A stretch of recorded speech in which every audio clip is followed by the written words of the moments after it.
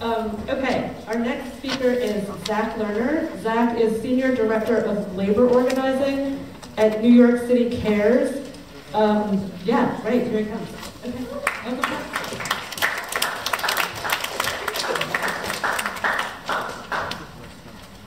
Hey everybody, uh, just one quick correction. My name is Zach Lerner. I'm with New York Communities for Change, not New York City Cares. it's all good.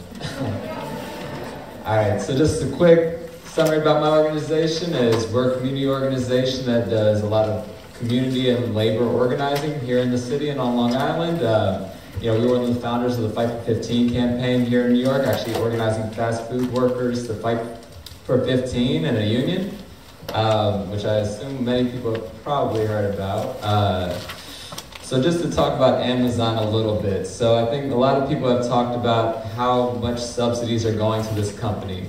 Uh, the governor and mayor of our state have both, uh, you know, put together about three billion dollars at a minimum that could go to this company. I mean, looking at this, it could be a lot more actually if you include some of the land value and everything like that that's going to be going. And as many of my fellow panelists have said, right, that um, a lot of this is done around the backs of every single person in the community, that this is something that the governor and mayor work behind closed doors to actually make happen without involving anybody from Queens or around the city.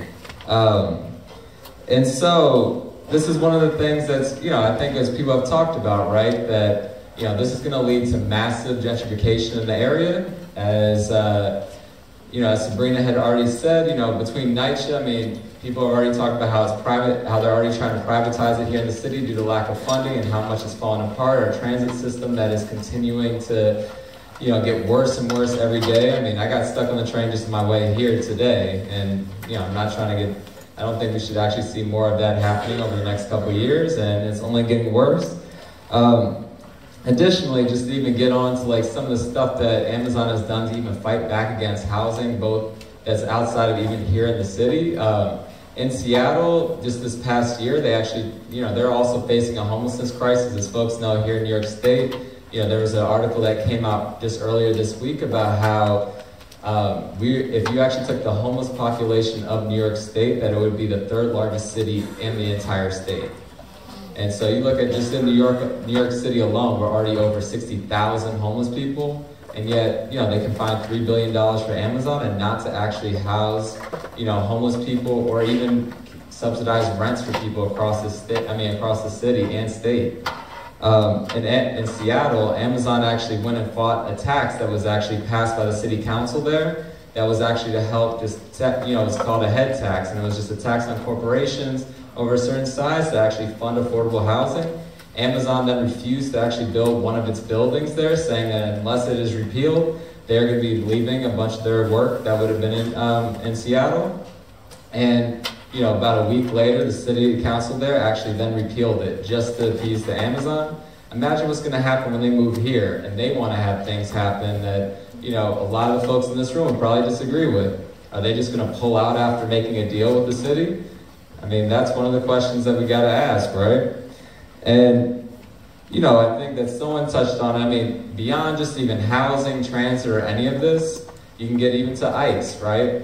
I mean, Amazon, there's a nice report that was put out by Mijente about a couple weeks ago, where it's actually how ICE was selling facial recognition technology, or Amazon was selling facial, uh, facial recognition technology to ICE. So they could start, I mean, they could actually start tracking more undocumented immigrants and just start detaining them.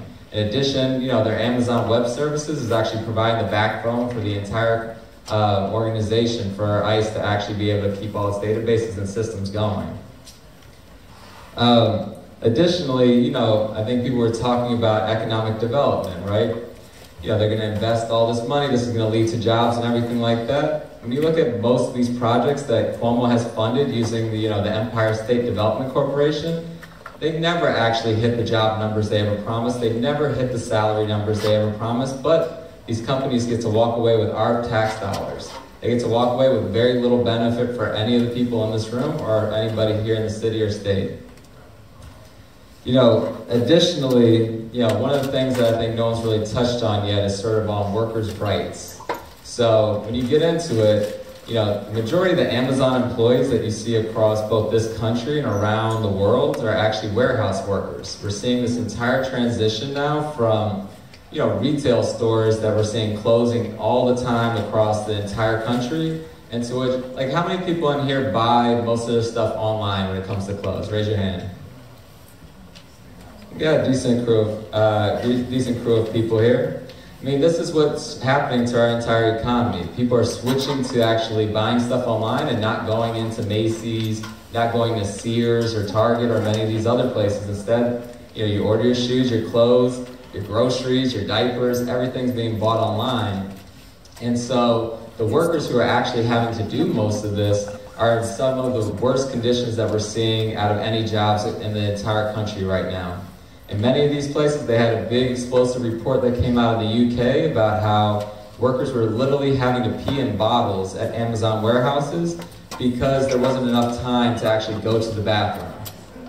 In addition to all of this, you had the rate that everyone's getting put under for many of these workers. They're having to actually, you know, they're putting 60, 70 packages together an hour. And if you don't actually hit that, then you're almost fired within the next couple days. You're written up or fired.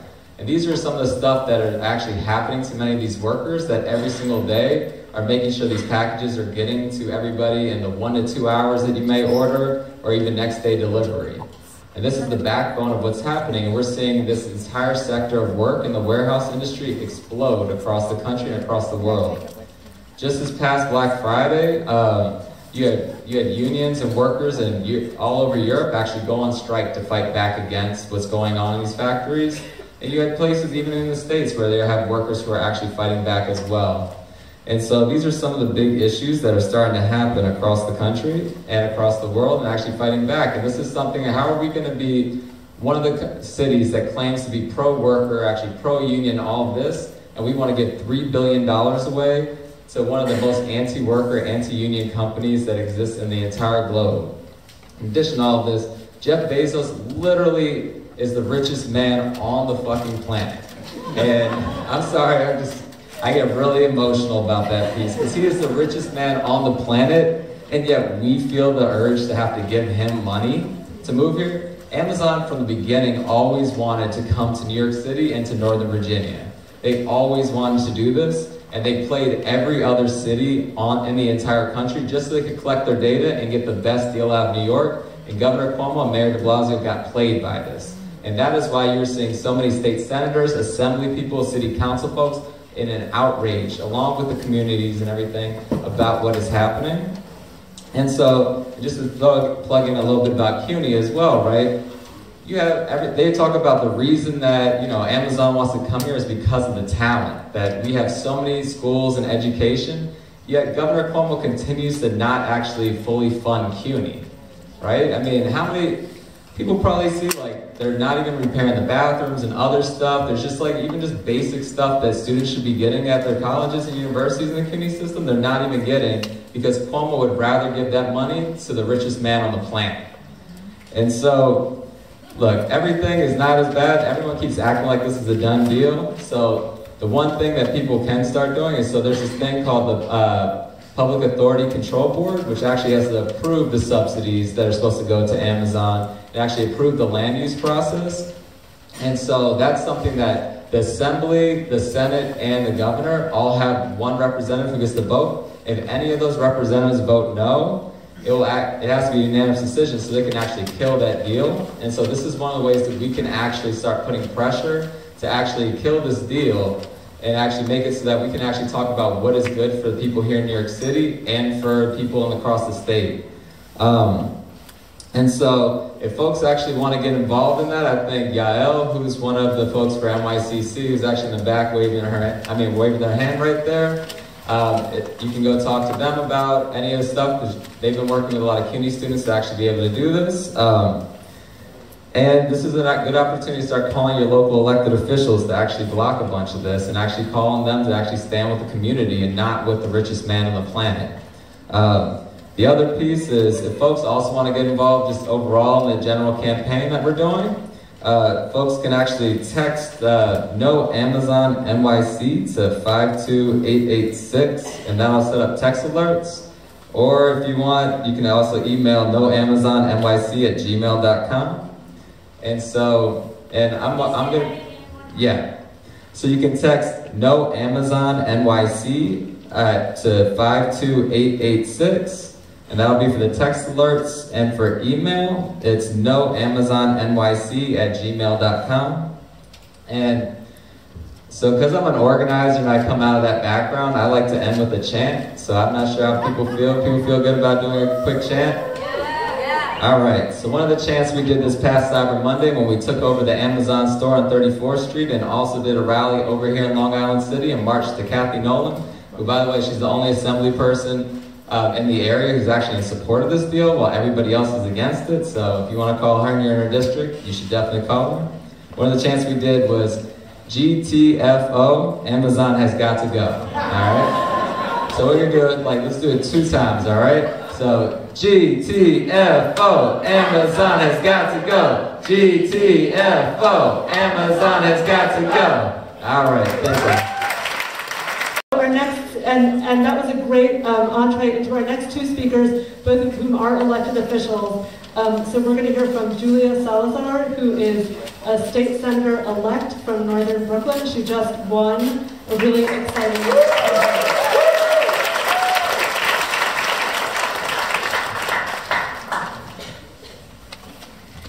so much. Good afternoon, everyone. Um, I'm thrilled to be here, uh, despite the, the uh, reason for being here. Um, I'm as furious as all of you um, about, about this deal. Um, I want to talk specifically about, you know, we, we all, I think, know at this point um, that, that Amazon is a union-busting, predatory corporation, um, that, that this deal, the, the tax subsidies, the, um, the development, uh, it, it, threatens our communities in Queens um, and throughout New York City. But I wanted to speak specifically to what we can actually do to, to stop it, um, this deal specifically, and um, you know, future, future deals um, that, like this one, um, would potentially be negotiated behind closed doors.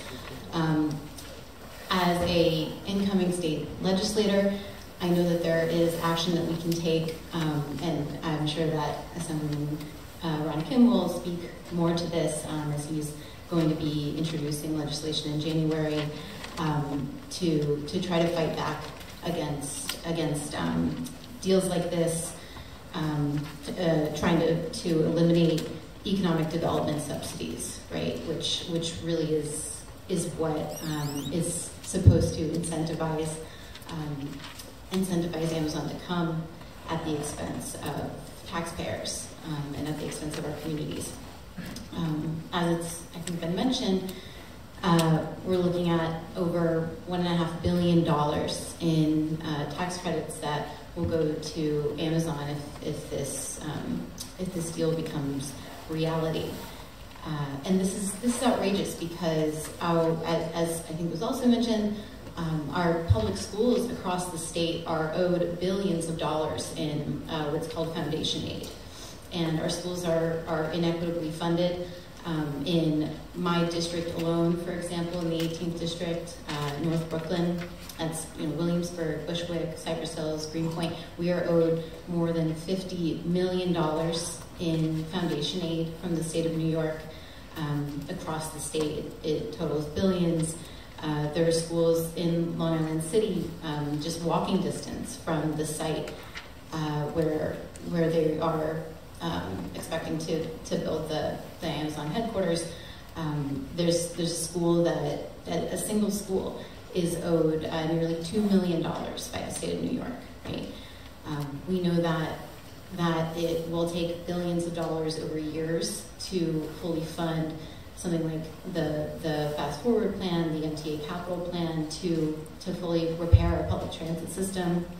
There are so many better uses for, for this tax money um, rather than using it on, on corporate welfare, right? Uh, but what can we actually do?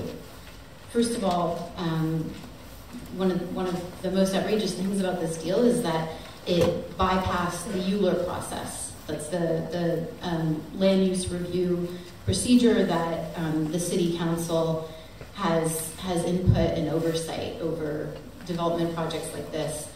Um, Cuomo is using his power as the governor to forego the ULURP process. Uh, that's you know completely outrageous. Uh, technically, the, the governor um, is able to control city land use processes, but we should we shouldn't allow this. And I think as as state legislators, we need to to stand up to this. Um, you know, roughly 25% of the the um, site that they're planning to develop on is is um, public land that the city owns. Um, so we we don't think that that public land should be used for for this purpose, right? To to serve private interests in this way, um, especially when when we expect it to have such a detrimental effect on our communities. Um, the we know that the total tax breaks that are being offered to Amazon are coming through something called the Excelsior Jobs Program. Uh, that's something that the legislature, you know, previously approved, but it has an annual cap of about 183 million dollars, which is actually currently set to decrease uh, in the coming years. And um, in order for for Amazon to actually receive these credits, the legislature would, the state legislature would need to expand the Excelsior Jobs program and raise that cap. So what we can do, um, Assemblyman Kim, myself, and our colleagues in, in the Assembly and the Senate, we really need to refuse to raise that cap and, ex- and, expend, and extend that program, right? Um, I, frankly, I think that it's, it's a bad program. It's a waste of money. Um, I, don't think it, I don't think that it should exist. Um, but but what we really need to do is make sure that it isn't it isn't going to be used to um, to subsidize a corporation like Amazon. Um, additionally, um, I think that that in order to motivate all of our, our my colleagues, state legislators, um, elected officials to take action, we need grassroots support. Um, and I'm, I'm really encouraged to see um, on, on, a daily basis people speaking out against the deal, uh, people like all of you, advocates, organizing and, and mobilizing against this. Um, but there's action, you know, that, that I think is, is action that can immediately be taken, is, you know, talk to your representatives, but additionally show up. Um, you're already doing this uh, but, but continue to. And, and there are opportunities, whether it's through, through NYCC, um, their campaign against Amazon, um, also the DSA, I would be, you know, um, it would be extremely off-brand for me not to make a canvassing plug for, for Queens DSA, um, but Queens DSA is, um, is canvassing in, in Long Island City, in Woodside, um, I think also in Sunnyside, every day uh, to, to try to educate the community about what's going on um, and build, build public support against this deal. So um, there, I think that there is still hope, not only for us to be able to fight this deal, uh, prevent Amazon from coming in and, um, and displacing people and taking really valuable, desperately needed resources away from our communities, uh, but this is also, I think, part of a bigger, a bigger movement and a bigger cause to, to fight um, corporate welfare and to make sure that, um, that our funds, our state funds, um, are actually invested into public programs and into our communities. Um, yeah, thank you. Kim, Ron is a New York State Assembly member from Queens. He was the first elected official in New York to stand up against Amazon and call for the full cancellation of student debt. Um, so thank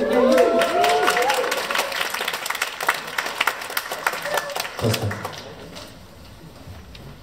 So imagine if we had Julia Salazar and Alexandria Cortez negotiating with Amazon, not Governor Cuomo. Where would we be right now? I mean, that says a lot. I mean, three white men negotiating, throwing billions and billions of dollars and telling us uh, what's right, what's wrong. There's something wrong with that picture itself, isn't it? Isn't there? Um, So when I came here with my parents in 1987, how many people were born 1987? Three people. um, I came from South Korea, uh, moved to Flushing. The Mets had just won the World Series. And, and, and Ronald Reagan was the president at the time. Boom, right? And my uncle was the only Republican in Flushing who decided, oh, I'm a fan of Ronald Reagan, I'm gonna name Iran, Ronald. so this was my destiny.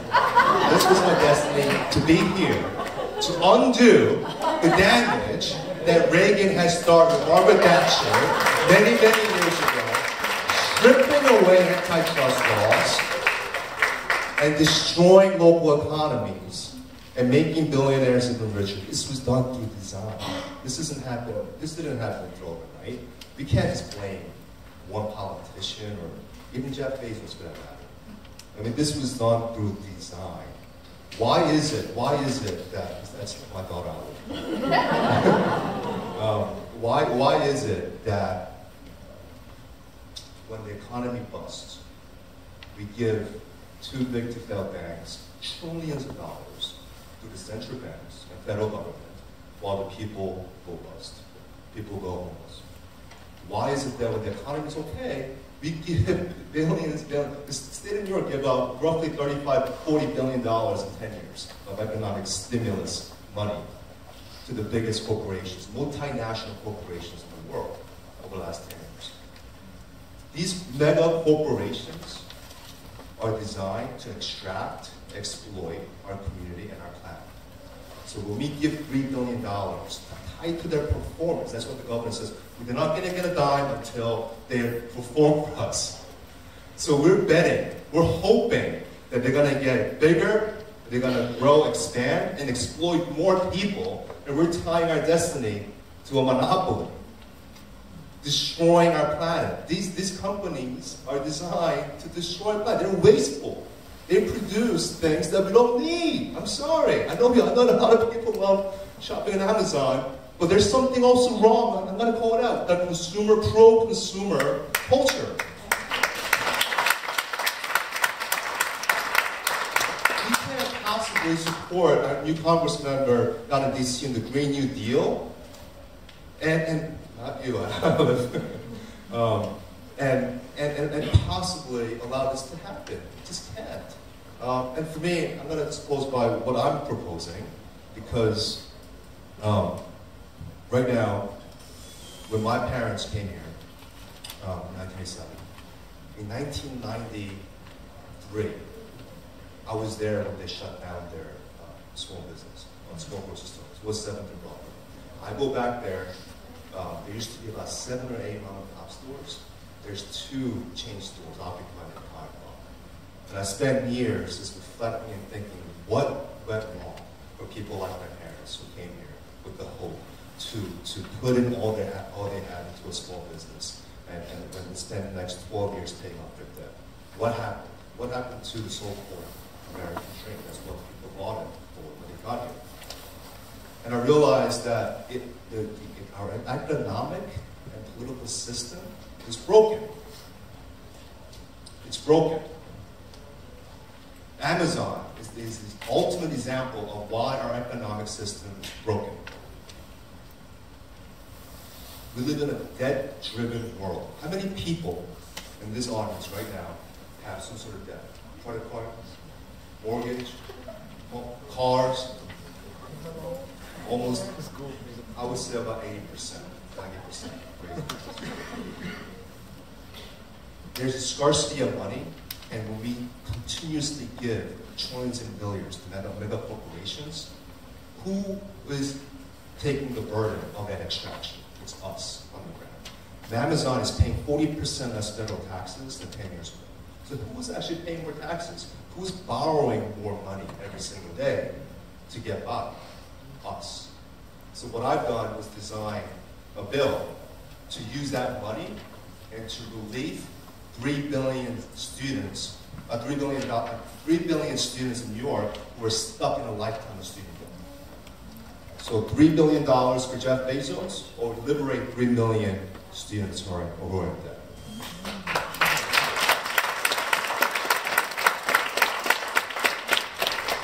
What it does is it pushes us to have honest conversations about our economy and a debt-driven society because it's uncomfortable. When someone is in debt, I know there's a couple of people who are in debt but didn't raise their hands. I know why. Because there's a psychology of debt in our society. When we're stuck in, in this trap of debt, we, are, we feel humiliated, we feel judged, we often feel shamed by others. And, and that's also done through design to put people like us on the treadmill while Amazon keeps exploiting and attracting us. On that treadmill, they want us to borrow interest-bearing loans. They want us to keep just not focused on cooperating collaborating, but competing, cutthroat, putting whatever you can to get paid off interest. We need to stop it. We can't get to a green, we can't get to a, get to a green revolution, green economy, if we don't stop that mindset. Imagine, imagine if Governor Cuomo said, you know what, I'm not gonna compete with New Jersey, with California, with Florida, Texas. Screw that. I'm gonna cooperate. I'm gonna collaborate to hold Amazon accountable. To, to bust them up for breaking antitrust laws. That is the kind of leadership that I'm looking for in the executive office. Do you? Um, so I'm gonna just I'm, gonna close all my paper, all my all the stuff that I'm focused on is on my website because I call it a, a gut checking moment for a democracy. We're gut checking every politician, every official, every person in New York. Gutcheck.us is the website. Check it out. All my stuff is up there. Um, and just hit me up if you want to get involved. Thank you.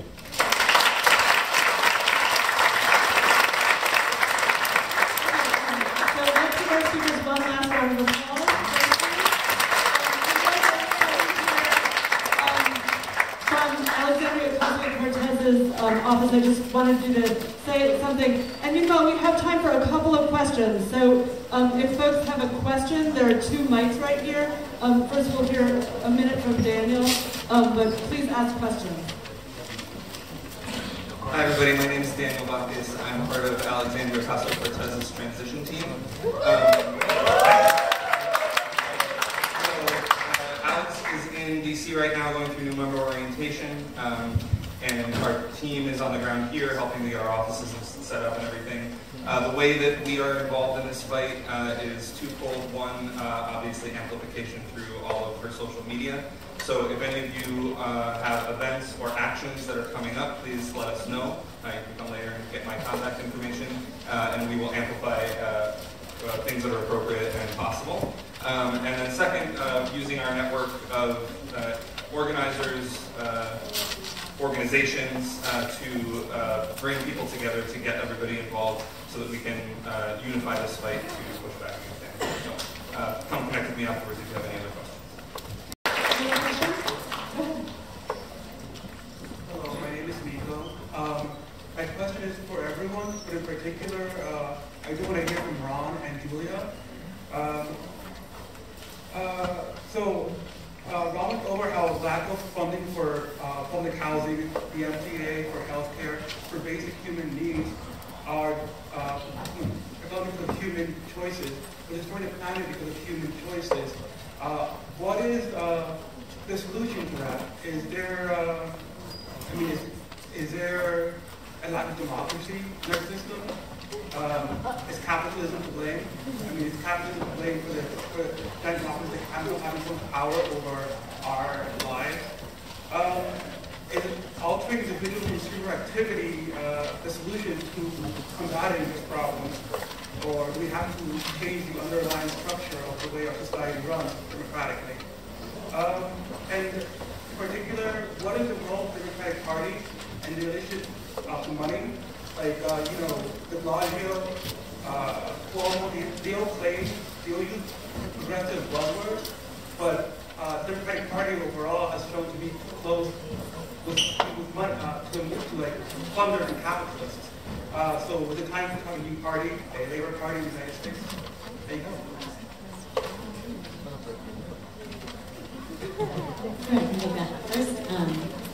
Thank you. Um, I would say yes, all of the above are causes. It's, um, it's a failure of, of our democracy. Um, it's capitalism. These uh, these things are, are what's, what's driving inequality um, and also um, you know the, the waste of resources, the the um, destruction of our, of our planet. We we need to be fighting um, to to improve our democracy, to to create real democracy um, by empowering people, um, not just through through election reform, which we so desperately need in New York State, um, but and, and through ethics reform, right, fighting for more transparency. I'll just speak to the, the question of, of do we need a new, a new party? Um, I've definitely been, I've been very critical of the Democratic Party, and from within the party, um, and, and without the party as um, an active member of the Democratic Socialists of America. Um, I want to see, I want to see us break away from from the uh, from the constraints of the, the two-party system, um, so that we can actually, so that people have, have more of an opportunity to participate in the electoral process and, and by extension the legislative process, right? And actually being able to inform policy. Um, uh, I think as far as a, um, a labor party, the, the labor movement in general is, um, is really under attack in the United States, even in, in New York, where we, we have the, I think, I think the highest union density of, of any state. Um, however, it's, um, it's still threatened by, by things like national right to work, um, by, by union vested corporations like Amazon. Um, and so we, I think, need to, to continue um, to build not just organizations like the DSA, um, but, but the movements that, that DSA is an extension of. Um, So I think we'll, we'll get the last two questions and then um, respond to everybody at once. Um, so so uh, go ahead and then Kayla, and then we'll hear some responses. Um, oh, do we have three questions? Let's get the last three questions because um, I know some people are going to leave, and then we'll hear our responses. So go ahead. Okay, um, my name is Neil Eunice, I'm from WNYC. Uh, first question is probably for Doug, but anyone else wants to jump in. It's how opportunity zones affect um, this whole deal and what, what can we expect to see um, in terms of how opportunity zones will kind of change, uh, influence the development. And then the second, I have one really quick follow-up, which is, which is a separate question, but um, one argument kind of in favor of the deal is that people in public housing will not be affected because their housing is kind of assured. So if someone wants to speak to that concern as well.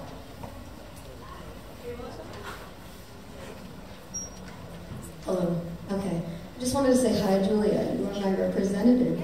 Um, Bushwick out here. Um, but it's not so much a question, but more of a comment to talk about how we were talking. You guys were talking about how Long Island City will be facing a lot of gentrification, and as we all know, throughout New York City, we're already facing so much housing insecurity. But gentrification spreads like the disease it is, it's going to go into Jackson Heights and Elmhurst, into different parts of Queens. Woodside's already being gentrified, but Ridgewood's being gentrified, Bushwick's been gentrified, Williams long gone, Williamsburg is long gone. Um, and that's another thing that we really need to fight about, that there's no way in hell that Amazon gets all these billions of dollars in tax, tax breaks, and we're out here working three jobs, can't even pay our rent, sitting on the train for an hour and a half, for a half hour commute. Fuck that.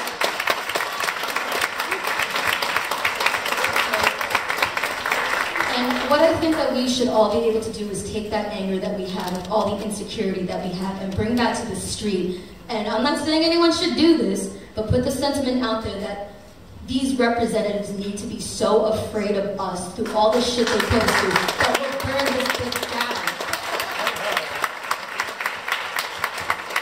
And lastly, I think something that, so the People's um, MTA yesterday had an action outside of the, there's a fare hike for MTA. The audacity that they're going to want to make us pay $3 for trains now, for each ride. Um, they were talking about how maybe Bezos should, Bezos should pay for our MTA instead of us. Thank you.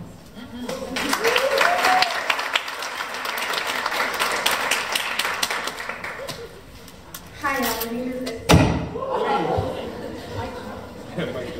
hi, my name is Ismarie. I'm a document student from John Jay, and uh, my question here um, I want to ask Ron Kim.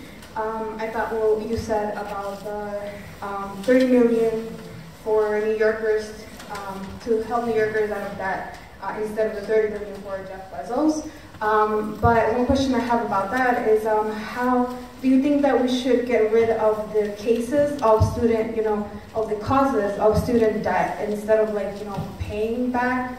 You know, it feels kind of like a re retroactive, retroactive um, solutions instead of like, uh, you know, moving forward. Like, what will help us students not get into debt instead of like, you know,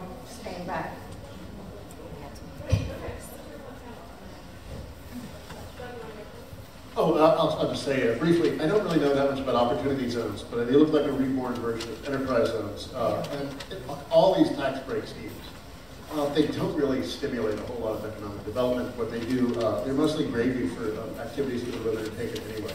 Uh, as I said early on, my, at the beginning of my presentation, business location literature, decades of study show that taxes are really a low priority when businesses are deciding where to locate. Uh, they like you know top them down and make threats and, and, and, use blackmail or attacks. But really, uh, um, it's, it's, an article of faith, not just among Republicans, even a lot of you know, sort of mainstream Democrats that, that uh, these kinds of tax breaks will stimulate development. They don't. What we need to do to stimulate real, authentic development is to build our physical and social infrastructure. And to do that, we need revenue, and uh, instead of giving it away, uh, two or three percent of Bezos' net worth uh, uh, would, would, would uh, uh, that's how much, how much uh, Amazon would be getting in tax breaks from the city and the state. I think we should go after fortunes like that rather than, than showering money on them for completely redundant, irrelevant reasons. Um, I'd just like to underscore that point about student debt. We need free college tuition. We need to understand why people go to. Um, the debt debt forgiveness is kind of inequitable and after the fact. Um, people who have been paying their debts get annoyed if other people's debts get forgiven. But you know, if we have free college tuition, then we'll have to, the problem goes away forever. So I'd rather, you know, as I said, a forward-looking rather than a backward-looking approach is better to me. Um, so I just wanted to touch a little bit on what you said about NYCHA housing and not being impacted. Um, in fact, it will be impacted, maybe not directly, but indirectly, yes. Around the area, you're seeing the rise in um, mortgages and the rise in rent increase, especially for small business owners. Um, you're seeing uh, like the prices around the area, let's say for groceries, or um, the overcrowdedness of the area, the rise in all the populations, the rise in everything will cause less investment being done into public housing. And right now, you're seeing that um, with no no um, repairs to tenants having no access to hot and heat, um, heat, heat, no access to heat and no access to hot water. Um, what's being done about that? Nothing right now. There's billions of dollars that are being torn into something else where it can be going into NYCHA housing and can be going into repairs, but it's not. And with, if this investment is being done into Amazon, then that means even less funding for NYCHA. It means even less funding for HUD. How is that gonna um, help us solve our housing crisis. Right now, we have, um, Zach mentioned about our homeless population. It's super high. Um, so then what happens to that? Do you, like, all those, it has a domino effect to it. It's not just gonna affect, um, and it's not gonna stabilize our housing. It's already on the brink of like breaking down. Um, so yes, it will affect our public housing. So yeah, just to follow up on the piece around housing, I mean, yeah, uh, I'm not sure who the student was, but is completely right about gentrification, and that's why one of the things that a lot of folks are pushing in the state um, in the state this year is going to be around universal rent control. So this is one of the things that we can actually guarantee that people aren't going to have to worry about their rents jumping up, you know, hundreds or thousands of dollars just so that they can get pushed out, so that these new people coming in from Seattle from wherever else can go and take those homes. And so that's going to be, the rent laws actually expire this year in Albany, coming up in June, or I guess next year technically. And so this is going to be one of the big fights that, you know, instead of them giving away $3 billion, you know, Governor Cuomo should actually be fighting to actually create more protections for tenants so they can not have to worry about getting pushed out of their homes, you know, especially with everything that's happening right now. And my one other plug, real quick, is going to be that there's going to be a CUNY action that's actually happening this Friday at 100 Wall Street at 11 a.m., which is going to be going against, uh, I guess, Chancellor Thompson or whoever's the head of the board there. So that's going to be happening at 100 Wall Street at 11 a.m. on uh, Friday. Thank you. So just go back to the first question. Um, yes, if we don't get this right, we might as well accept that we live in an oligarchy. If we can't deny Amazon now, this moment, I'm not sure if we're living in a democracy. That answers, and that's, I want to answer that question. I personally believe in what I, some people call it liquid democracy, a decentralized democracy, where people on the ground, peer-to-peer economy, they make their own decisions, and they hold collectively elected officials accountable every single day uh, through transparent policies. Um, that's what I believe. That's the future that I want uh, for our democracy. Uh, for student debt uh, question, I am 100% for a debt-free uh, college. That would be absolutely great. But by focusing on uh, the current debt, which is well, which is going to reach close to two trillion dollars end of this year, the second highest category of household debt. We are admitting the, to the fact that we have a broken higher education market system. So we need to reset. Reset first and make sure that we fully fund higher education moving forward. 40 years ago, 30 years ago, higher education was fully funded by government. And we made a choice that we're going to scale that back and put that burden on you, and then we're going to increase the loans, 95% of it is owned by the federal government, interest-bearing loans, on you. So they privatized higher education. That's why we need to reset it. And the people who are currently in debt, the every, everyday New Yorkers that are struggling, they're on average seven years behind economic growth. Seven years. Meaning they can't move forward, they can't formate families, they can't start small businesses. So a number of economists have proven that you liberate this class, the working class families, the return on an investment in traditional economic sense is tangibly greater. There is no statistical correlation to economic uh, corporate welfare dollars, but there is a correlation if we liberate, if we invest directly into people's debt. Please join me in thanking all the